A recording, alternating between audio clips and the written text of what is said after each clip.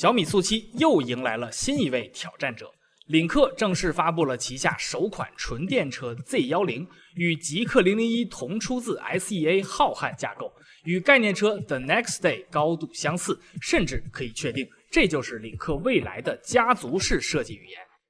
作为一家为年轻人造车的品牌，领克 Z 幺零遵循着新潮理念。在外形上重用机甲设计风格，有年轻人喜欢的灯光互动，还有无边框车门、主动调节尾翼、撞色车身元素，同时又很好的将自己和油车完全区别开。流线造型还为车辆带来了零点一九八的超低风阻，这个外形在二十万级轿车中绝对称得上独树一帜。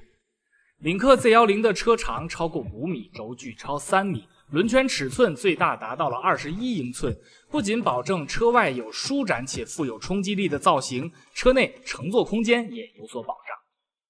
进入车内，领克再次展现了做工和用料的扎实。Z 幺零大量使用真皮和 Alcantara 翻毛皮，强调自己作为吉利高端豪华的调性。车内还有上下双平底方向盘，辅以长条形仪表盘和悬浮式中控屏，AMD S 两千芯片加持，算力是高通骁龙八二九五的一点八倍，带来更聪明快捷的智能座舱。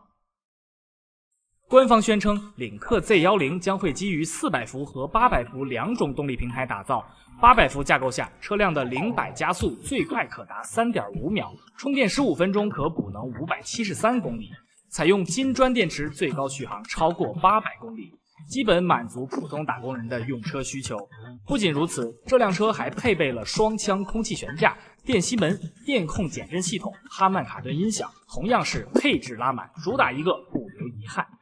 七月下旬，领克 Z 幺零将会正式迎来发布。作为前瞻，我预测它的价格在二十到三十万，与顶流小米速七处在同一个价位。但 Z10 这个后者又很好的做出差异化，理工男一般的外形蕴藏着运动感，简称闷骚。二十到三十万区间卷力十足，领克 Z10 又是个新人，延续燃油时代的辉煌，你觉得它行吗？